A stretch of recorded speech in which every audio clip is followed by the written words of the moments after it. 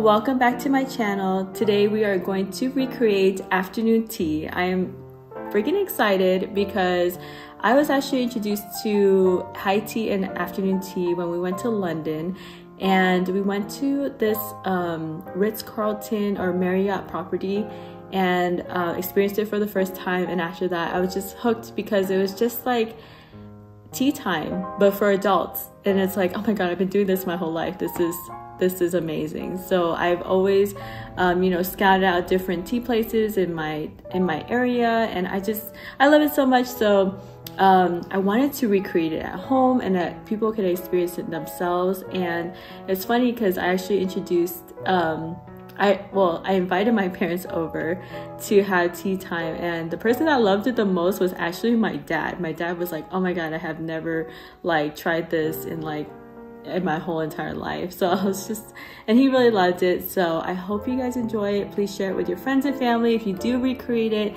please tag me.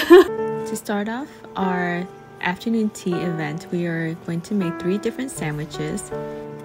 The first one is going to be a smoked salmon sandwich. Here I'm just cutting up some dill, adding some lemon zest,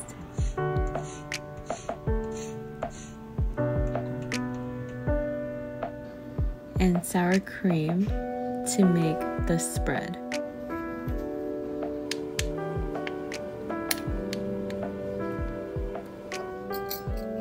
You'll also need cucumber,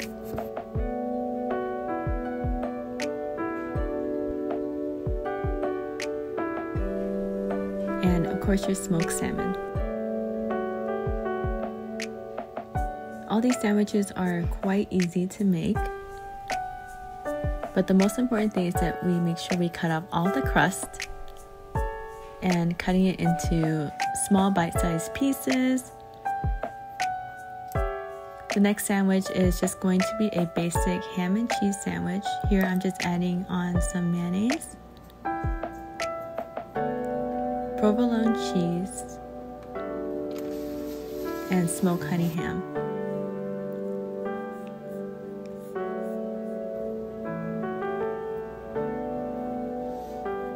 The next sandwich we're going to make is a egg salad sandwich. I'm just cutting it into small pieces. Then we're going to add butter, Dijon mustard.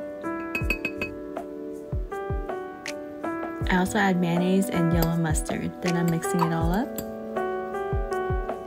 I'm spreading on a little bit of butter, then adding our egg salad mixture.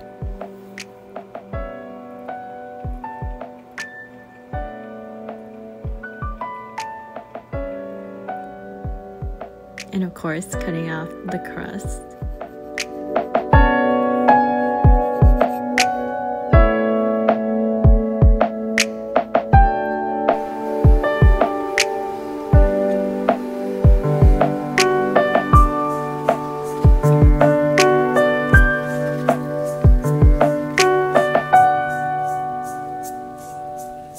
Now that all our sandwiches are done, we will start plating them. I'm using a round plate and I'm having it face uh, up on the side. That way the guests can see what kind of sandwiches they're picking up.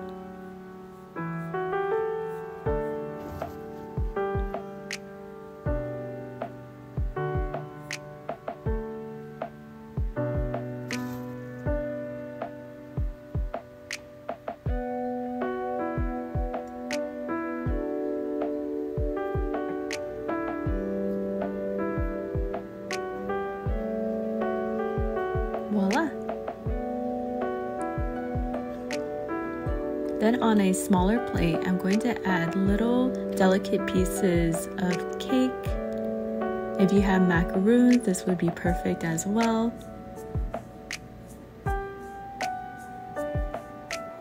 And since I don't have a three layer tier um, like plate set up, I'm actually just gonna make my own. I'm using this plastic cup here, putting it in the middle then stacking the plate. That way it still has that same effect as like a two tier or a three tier plate setup.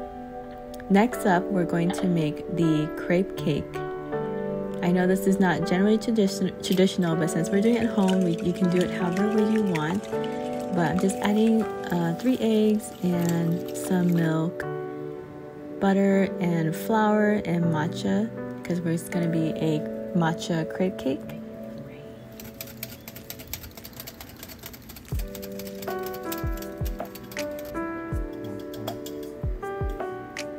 Make sure you want to strain the batter that way you don't have any random lumps and clumps in your batter.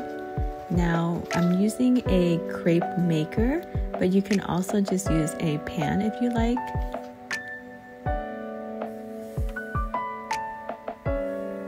And we'll be making quite a few layers of crepes.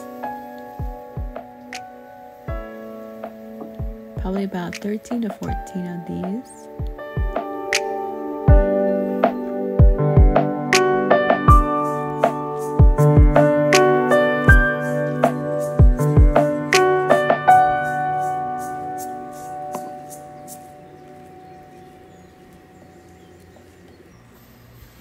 Then you just repeat the process. Moving on, we're going to make the filling or the the filling of the cake. We want to whip it till it is nice and thick. Then we're going to start laying our crepe cake.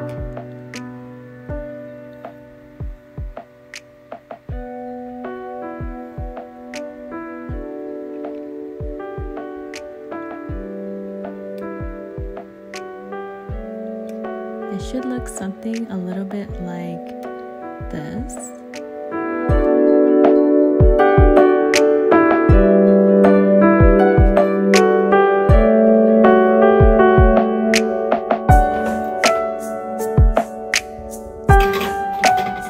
Now our guests are almost here, so uh, I'm going to be baking the biscuits. I wanted to bake it close to when the guests arrive because it only takes about 10 to 13 minutes to bake biscuits, and that way it's nice and hot when they get here.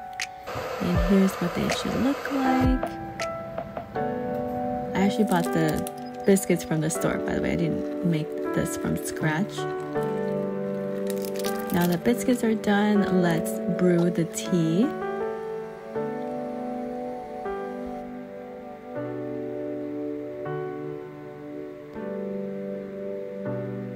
Everything should be perfect and ready to go. I hope you guys enjoy.